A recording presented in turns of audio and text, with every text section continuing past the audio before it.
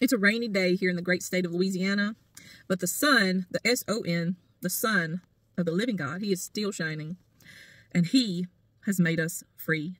John 8:36 says, "Therefore, if the Son shall make you free, you shall be free indeed." Paul and Silas were in jail in Acts chapter 16.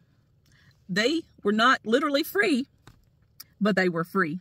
You could be in the worst situation ever, and you could be sitting on the side of the road, living in your car, singing praises to God because He has made you free. When you have God on your side, you have peace in the storm.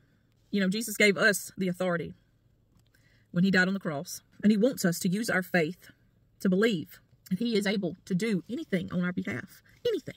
You ever just see something happen and you're like, mm, somebody must have prayed. I know, I'm very random. I'm sorry. Freedom. You can be locked up in a jail cell. Paul and Silas, they were locked up because Paul delivered a person through the power of Jesus Christ, delivered and set free a girl who was possessed by demons. But she was making money for these men and they got mad so they locked him up. They locked both of them up.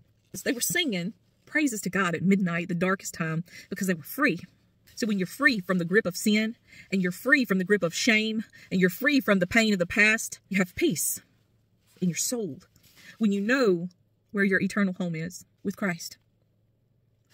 When we see him, be changed in a moment, in the twinkling of an eye.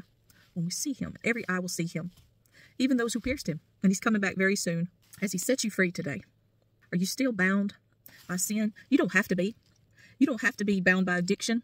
I can testify. I was addicted to so many things. Jesus set me free, and he can do it for you.